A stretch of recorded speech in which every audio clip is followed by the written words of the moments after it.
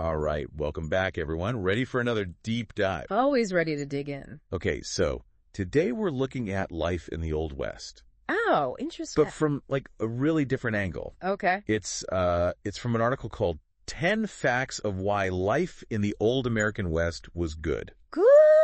Good! Right?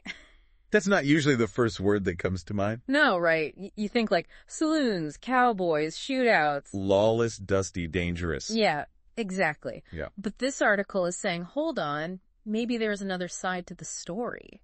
Okay, I'm intrigued. Right. Like, what if for some people, life back then was actually good? Hmm. Well, I guess it all depends on your definition of good, doesn't it? That's a good point. That's what we're going to explore, right? Like, what made life good back then? Okay, let's dive in. So the article starts off talking about adventure. Okay. And I mean, you can kind of see it, right? Oh, absolutely. Wide open spaces, unexplored territory. It must have been incredible. Yeah, imagine just packing up your wagon, heading out into the unknown. Yeah. And just going, Yeah. creating your own path, right? It's definitely appealing, even today, that idea of just striking out on your own. Totally. But it wasn't just about, like, the excitement, right? Oh, of course not. There's a whole other element of challenge. Exactly. I mean, just surviving out there in the wilderness was a feat. oh, yeah. You couldn't just, like, Google how to fix a wagon wheel. Exactly. You had to rely on your own skills, your ingenuity. Be resourceful. Absolutely. You had to be adaptable, self-reliant. Those were necessities. I talk about independence. It was baked into the way of life. And the article, it also mentions, um, land ownership. Oh, right. A huge draw for many. Yeah, like you could actually claim your own piece of land. The Homestead Act, for example. Yeah. Build a home, make a life for yourself. A real chance to build something from the ground up. It's that classic American dream, right? Absolutely. Owning land, it meant stability, a legacy, a future. Yeah. And a level of freedom that a lot of folks just didn't have back then. That's another key point the article highlights. Freedom. But what did freedom really mean in the Old West? Well, in a way, it was freedom on multiple levels. I mean, you had the freedom from a lot of the rules and regulations. Like less government interference. exactly. But also, you had a social freedom. Oh, interesting. The West attracted such a diverse group of people, different backgrounds, beliefs. So you could really be yourself. Yeah.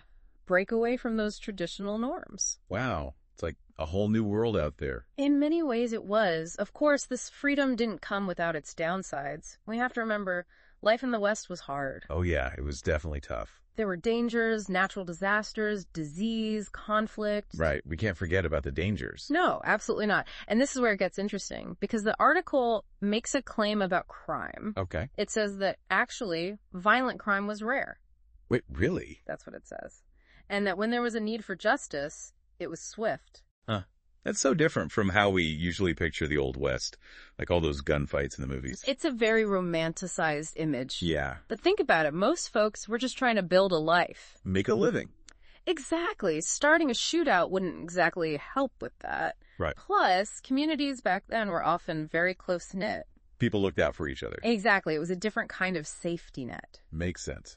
And the article also mentions um, the economy back then, Oh, okay. like all those mom and pop shops right. A lot of local businesses. supporting each other. Which makes sense, right? They needed to be self-sufficient, Yeah. relying on each other, trading locally. It was a totally different system. Very different from the large-scale economies we see today. So, I mean, this article really does paint a different picture of the Old West. Definitely more nuanced than we often see. Like maybe it wasn't all just hardship and danger. There were triumphs too, opportunities, a unique way of life. So, having explored all of this, what's your big takeaway? You know, it makes me wonder if you could go back, knowing everything we've discussed, the good and the bad, would you? Hmm, that's a tough one. It is, right?